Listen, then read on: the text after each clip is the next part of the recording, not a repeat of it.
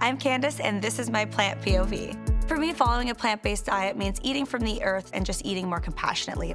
People believe that eating plant based means sacrificing taste. It could not be further from the truth. Use spices, use herbs, take those flavors that you loved before, just make it plant based. My favorite Yves product is the burger. One of my favorite ways to prepare it is with barbecue sauce and an onion ring and a little bit of slaw. If you're ready to add delicious and convenient plant based meals to your week, try Yves. Delicious plant based eating for all.